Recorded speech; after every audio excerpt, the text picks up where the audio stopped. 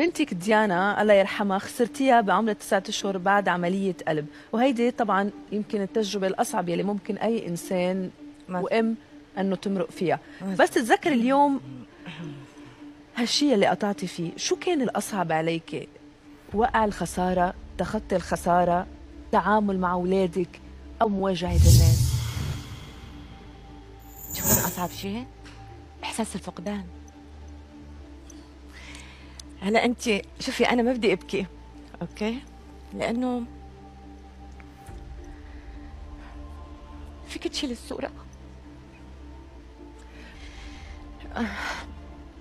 كان شعور صعب صعب أكيد.